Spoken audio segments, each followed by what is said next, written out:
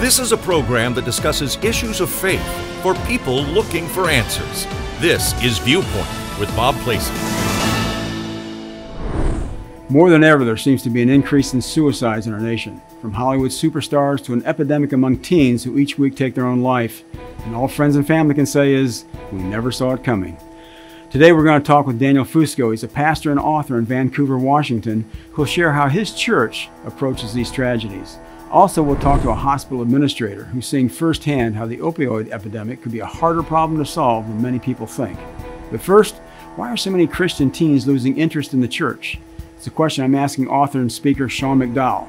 You may know him from his father, Josh McDowell, who he's co authored many books with, including Evidence That Demands a Verdict. One of the things I saw in here was that the Gen Zs are leaving the church at an unprecedented rate. I mean, they're not even staying in church through high school in, in a lot of cases. I'm glad you said the church because sometimes people said that young people and Gen Z are leaving the faith in droves. I'm not sure that's entirely true. There certainly are some that are, but a lot of them are disengaged in the church. And this has happened in the past, Bob. As you know, previous generations, Gen X and millennials, there was concern about them disengaging the church. And many would come back when they had kids mm-hmm. and they got to those life defining moments later on. But what's happened to this generation is many of them are not getting married. Those who are getting married, many are not having kids. And they're doing that even later. So we're wondering are many who are disengaged in the church, are they going to come back the way previous generations have? In some way that in some ways that's still an open question. Would they be drawn back by relationships that they had in the church or relationships that they had with other Christians?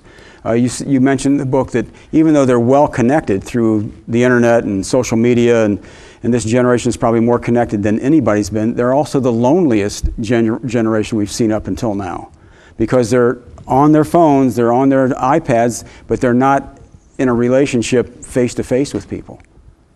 That's a really interesting way that you put it because there's kind of a paradox with this generation that they're more connected than any generation, but they're also lonelier, that they have more information, but arguably less wisdom.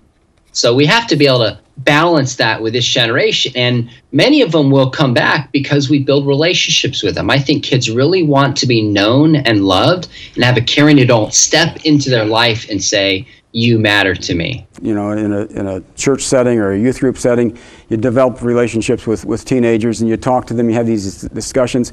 And a lot of times they take carte blanche, what people were saying. This generation, as soon as, I mean, even while you're talking to them, are checking it out on, they're, they're, they're referencing it on, on Google or someplace. And they're going to check what you say almost immediately.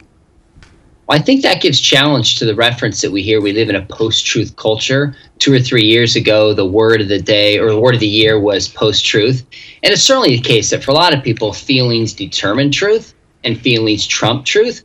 But on the flip side, when I'm talking to this generation, they're researching it, they're looking it up, they want to know, they have questions, and they feel like they can find an answer. So if I say something that they're not quite sure, they're Googling in front of me and checking it. So that means people like you and people like me who have a chance to speak that this generation might listen to. We have to get our facts right or we will lose credibility in front of them. So I say you, better have an, a good understanding of your own Christian worldview and some idea of apologetics when you go into that relationship with that, with that student. You had better be prepared.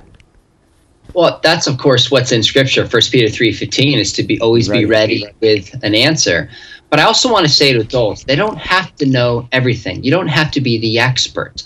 You just have to be willing to step into the life of a young person, build a relationship, ask them good questions, be a good listener. And if you're available and they ask a question you don't know, just say, Gosh, let's look it up together and let's find an answer. So the more we know and study, the better prepared we are. But I don't want adults thinking I've got to have it all figured out before I can reach this generation. When I'm going to reach uh, program my cell phone, I take it to my seven or eight year old granddaughter because she understands it. And I think a lot of adults, a lot of parents, even maybe younger youth pastors, are intimidated by some of the tools that Gen Z take for granted.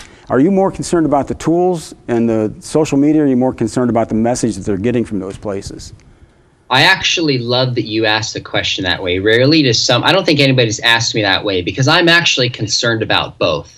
And it's hard to say which one is more damaging the other. It's obvious that the messages coming through of greed and consumerism mm-hmm. and selfishness and sexuality, those messages concern me, but it also concerns me how somebody's brain is being rewired and they're constantly in need of being stimulated by looking at their phone nonstop and don't have any time to just sit and talk. Or, like it says in the Bible, be still and know that I am the Lord. The medium of technology, although I love technology, if we don't have boundaries and we're not thoughtful about it, it can deeply shape us as much as the message. Yeah, and, and a lot of this book deals with, with how to transmit the message. Uh, do you deal much in here with, with how parents should use uh, the technology? We do. We have a chapter uh, towards the end called Love Equips, mm-hmm. and it talks about giving boundaries to kids when it comes to smartphones. It also talks about using things like songs and movies and smartphones and other kinds of social media like YouTube as practical ways to engage this conversation with young people. So we kind of talk about both. Okay, and one of the, the, just the pivotal things you have here is developing a Christian worldview. That the, these kids are there's so many competing worldviews that they're faced with. Describe the importance of that Christian worldview. What what flows out of that? Well, worldview is basically a view of the world. It's a way of understanding reality, and of course, we live out of what we think is true and real mm-hmm. and good well, everybody has a worldview, but many in this generation, many even older generations, don't know where they got their worldview. They don't know if it's true, and they're not even really aware of how much their belief system shapes the way they live. Now, Barna's research shows that if people who see the world like Jesus are more likely to live like Jesus. So, if we want to shape this generation, we have to build relationships with them we have to help them see the world Christianly and then give them practical ways to live it out. I mean, scripture talks a ton about how we are in really a battle of ideas. Yeah. And what we believe about the world has eternal implications. And in that battle of ideas, these, these kids are inundated with several different worldviews. What's, what's probably the, the, the current worldview that's easiest for them to accept that might surprise their parents? Oh gosh, easiest to accept. I think some of the biggest worldviews that shape this generation would be I think naturalism shapes it very strong. I think there's a strong consumerist bent. But perhaps the strongest one is just this push towards uh, self authenticity. Be true to yourself. If I believe it, it's true for me. If I feel it, it's real for me. And we have no right to judge anybody else that's kind of this modus operandi that's pushed into this generation. So they resist external authority and ideas, yet inside they're thinking, as long as I feel it, it's true for me. That's harder for many in the older generation to accept and understand. Should a parent panic if they if they if their if their teen espouses you know this this worldview? Should they panic or should they just look at that as a as an opportunity uh, to really open up to that teenager or to to discuss it? some of the feedback that I've really enjoyed in the book is that people have said this isn't like a freak out book that says the sky is falling, everything is bad. It was actually kind of hopeful.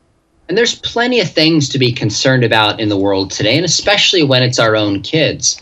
But one of the things I really learned from my dad is he would think through ahead of time all the possible scenarios that us kids, myself and my three sisters, would find ourselves in. Like, what if my daughter came to my dad and said, Hey, dad, I'm pregnant?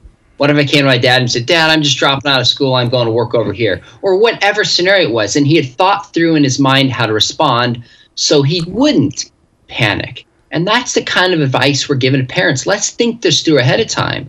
So when we're in that moment and inside we might be panicking, we can show love and acceptance of the person, even if we disagree with the decision and keep that relationship going for the sake of a longer impact. The longer impact. Something interesting, I want you to uh, kind of close this segment on this. Uh, and parents might think about this too. If a kid comes to them and says that I'm an atheist, and they, they panic over that, what, what's worse in your mind if the, if, the, if the child comes and says, I'm an atheist, or I'm a Hindu, I'm this, I'm that, or I, I just really don't care about God. I'm, I'm just apathetic about it. I don't, I, don't even, I don't care whether you talk about it or not because I'm not going to, I'm apathetic you know, it's hard for me to say which one is worse than the other. I would definitely say in this generation as a whole, there's a lot more kids who say they're apathetic and they don't care. You know, sometimes when somebody comes to me and says, I'm an atheist, I hate God, I'm like, okay, you have strong opinions. Let's talk about this. And I'm not saying every atheist says that, mm-hmm. But typically, someone who defines himself as an atheist has thought this through and has opinions and at least cares about the issue and understands it. When someone says, I don't care, man, it's hard to light a fire there. Yeah, it is. It really is. Well, the book is So the Next Generation Will Know Preparing Young Christians for a Challenging World. Sean McDowell, thank you for being with us today. Where can they get the book? Because there's a lot of parents out there and youth pastors that are saying, I, I need that yeah, your local bookstore or Amazon.com carries them. They will ship them to you probably on a drone this afternoon if you want it that quickly. and your blog address. Where, where can we hear, where, where can we hear more about what's going on there? I also have a blog and a ton of videos and resources at seanmcdowell.org. The battle for the hearts and minds of our next generation continues. This year, researchers have found suicides in the U.S. are up 33% since 1999. In fact, it's at its highest since World War II. While many are trying to find answers to why we're losing so many to suicide every month, I wanted to find out more about how churches are dealing with the aftermath of a suicide. So I'm turning to a frequent guest on Viewpoint, Pastor Daniel Fusco of Crossroads Community Church in Vancouver, Washington. Hey, one, one statistic I want to talk to you about, uh, I'm, I'm, sure it's probably just as prevalent on the West Coast as, as the East Coast and these flyover states, but it, the second leading cause of death of 10 year olds to 24 year olds now is suicide. Uh, it, it, just seems like it's, it's, it's growing all the time. It's, it's doubled since 19, I think 2008 to 2015 it doubled. And uh, it's almost epidemic proportions here. And what's it doing out there? you know, same thing. It's at uh, uh, childhood, young people committing suicide is at an epidemic proportion uh, where I live in the Pacific Northwest, and uh, it, unfortunately, there's not a you know a season that goes by that we are not uh, grieving the loss of a, a younger person to self-inflicted. You know, uh, suicide, de- you know, death by suicide, and so it's uh, it's it's a horrible situation that we're seeing in our young people. I read that, that this is the Gen, Gen Z, Generation Z, the most connected generation ever. I mean, they've, you go on Facebook and these kids have hundreds of friends. They're, they're well connected on with their, all their social media. Yet I'm not sure they're walking home from school with anybody, but they got a lot of friends on the internet. And yet they're, they're, they're saying that they're the loneliest generation ever, even though they've got all of these online friends. Do you think that's part of it? Well, I mean, I'm sure there's a lot of factors to it, but I do believe, you know, I, I like social media like the next person, but there's there's there is a way that you can be uh, super connected but feel completely alone because ultimately for all of us, you know, none, nobody feels truly uh, united just to other people. God didn't create us just to have interpersonal relationships. He created us first to have a spiritual relationship with Him.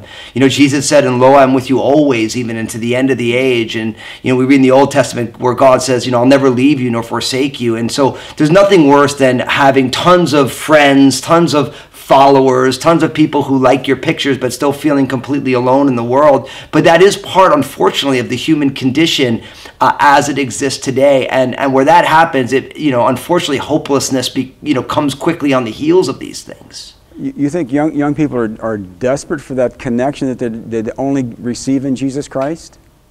Uh, absolutely. I mean, the Bible teaches in the book of Ecclesiastes that God has placed eternity in all of our hearts. And so I remember as a young person, you know, not in this generation, you know, I'm, I'm in my uh, early 40s now, but I remember as a young person being popular, having tons of friends. This was before social media. I remember, you know, I remember this was before we had cell phones in our pockets. I, I, I remember times of have, being surrounded by all my friends and feeling completely alone. And only later did I realize, I didn't grow up in a, in a, in a Christian Christian home. Only later did I realize that I was longing for to, to know who I truly was, to have my purpose defined for me, not by my peer group or by my parents, but but by the Lord, by the God who created and sustained me. So I know for me, I came to know Jesus at 21. That was absolutely pivotal uh, for me because it absolutely changes the way I saw everything. So yes, I think every gener and even right now, you know, let alone the young people, I think even in the older generations, I mean, the boomers uh, need Jesus as much as any other generation right now. And so I think without it, we're, we're left trying to figure out how to build an identity uh, without the essential component of who we truly are, which is Jesus Himself. Well, one thing we're seeing is that uh, if, if a, a, student in a school commits suicide, then all of a sudden the administration and the parents are panicking is there going to be another one and another one and another one even in that same school? And they're saying things like I, I did not see this coming. I didn't see the signs. What should i have been looking for yeah, and, and that's really unfortunate because I think in a social media world, I mean, nobody ever puts their worst pictures on social media. Nobody ever goes onto LinkedIn if you're older and, and puts like, well, I got fired from this job because I was a lousy employee. It's like you make it sound a certain way. And so we're, we're, we live in a day and age where, where life is airbrushed, where, where everything is looking perfect. And almost none of us, like nobody sends out their, their, their Christmas card with their family on it where everyone just has a, a horrible face on it, right? And so uh, people have learned the art of being able to put on a mask, but deep inside, um, not being not being real or not feeling comfortable or feeling so much shame that they don't share it. And that's why I think the church, you know, it's so important for the for the people of God to be salt and light in within their communities. Like, the, you know, sometimes we have a tendency to wait till someone's in such a bad spot that they reach out to the church. When we, I think the church God designed us to be proactively in our schools, in our community. Our youth pastors and our youth leaders should be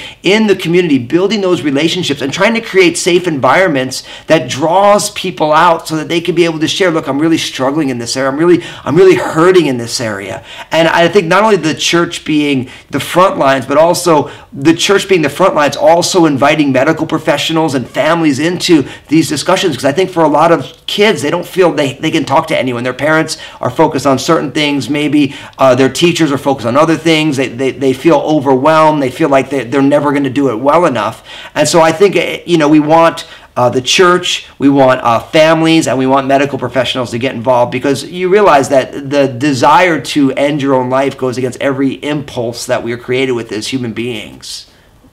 You think the parents are intimidated by that, though, that, they, that they're almost afraid to look behind the screen? Um, so that that's a great question, and and I think for oftentimes like we, we, we want to believe that our kids are doing well. I think inherently, like as a parent of three kids, you know, part of what you're doing, you look at yourself and you say, you know, I hope I'm doing a good job, and and, and when they're struggling, we have a tendency to maybe look over that and say, oh, maybe it's not that bad, you know. And so I, I know for me as a parent, one of my goals uh, is to be able to have a great relationship with. My kids can tell me anything. They can tell me the good stuff and the bad stuff. And and and my bride lynn and i have worked really hard to cultivate that. Now as our, our oldest is in his early teenage years we're seeing that we're grateful that we we laid that foundation. But now we're hoping that that foundation is going to hold for us for the, you know the next 10 15 years as as he moves his way you know through adolescence and the teenage years into adulthood. And so i think we we, we want to be able to open up those conversations. I think even being able to you know talk to kids and saying, listen, you know, I was re- I was watching this TV program and, and they were talking about the, the epidemic of suicide and you know do you ever have those thoughts? And and do, do your friends struggle with that? And is there anything that I need to know? And I think opening up you know making a safe space that we, we allow young people to be able to share their feelings, you know, to be able to have, to be heard, to be able to be loved, to be able to say, yeah, I remember my teenagers, that was hard years. You know, things were changing. I didn't know what was going on. All of those things are, are, are, are better than not talking about it and then only realizing later that, you know, somebody was crying out for help but didn't even know how to say anything about it. How do you, as a, as a pastor, and how does a church respond to, to someone who's lost someone that way? Well, yeah. So, I mean, as a church, when that happens, and unfortunately, we have had this happen, is you know we we run a great ministry here at Crossroads called uh, Grief Share, uh, and that's for people who've had losses in all different parts of their life. It's it's kind of a nationally known ministry that we run here at Crossroads. You know, we also realize that when uh, somebody loses uh, especially specifically a parent, uh, a child to suicide, that, that it's going to take a lot more care than uh, than just a nor- than another situation. I mean, you know, as somebody, I lost my mother uh, some years ago, and that was very hard. But but as a child, you expect that you know at some point you lose your parents. But for parents, you know, uh, parents are not equipped to bury children. I always say that that they're you know God knows what it's like to bury a child, as uh, Jesus went to the cross and rose again. But you know, it, it's it's a messy journey, and I think the people of God, the, the local church, should be a part of that, walking people through that. And we, you know, as a church, unfortunately, we've had to walk people through it. We've seen the messes in the midst of that, the challenges. You know, we tell people it's okay not to be okay uh, in the midst of it. Uh, the grieving is a process, and it's not a straight line process. And so I think a lot of times uh, as a local church, we have to be careful not to want to just make things really easy, you know, and we want to make it as efficient as possible because sometimes walking someone through the stages of grief for the loss of a, of a, of a child just takes time and it takes work. And so we just have to, we signed up for this as the people of God because Jesus doesn't give up on us on our messy days, doesn't say, well, listen, you've been grieving this too long, so you just have to get over it now. He's like, he just bears with us because, uh, you know, as we know, uh, the fruit of the Spirit is long suffering. The, the, definition of love in 1 Corinthians 13, love suffers long, or some translations, love is patient.